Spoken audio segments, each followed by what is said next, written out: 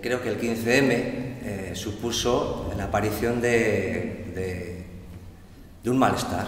Eh, de repente la gente sintió que tenía que decir que no se encontraba a gusto.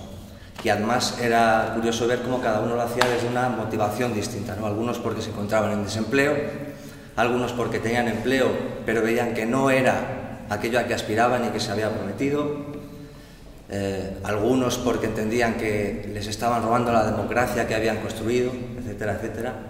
Entonces ese es el origen, entiendo yo, del momento en el que estamos actualmente. Soy Juan López Duralde, coportavoz federal del partido ECU. Apoyamos Gana Medina porque estamos a favor de la confluencia y creemos que en este momento la ciudadanía lo que está reclamando es la unidad, la unión. La unión porque uno más uno suman mucho más que dos y es un momento de cambio, realmente hay una demanda social muy importante y es un momento en el cual las cosas pueden cambiar y se trata de sumar para ganar, como dice el nombre, sumar para ganar Medina. Bueno, las claves del cambio son muchas. En primer lugar, acabar con esas lacras que han hecho tan lejana la política de la ciudadanía, empezando por la corrupción.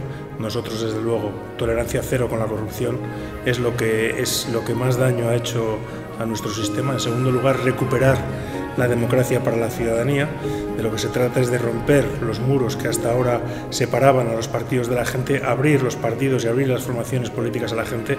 Por eso formaciones como Gana Medina son relevantes, que realmente eh, son mucho más abiertas y permiten a los ciudadanos y a las ciudadanas participar de una manera abierta. En cuarto lugar, un modelo económico diferente que busque mm, la calidad de vida, que busque la igualdad social frente a lo que ahora tenemos, que es realmente un modelo que nos está mm, produciendo o generando cada vez más desigualdad, cada vez más desempleo.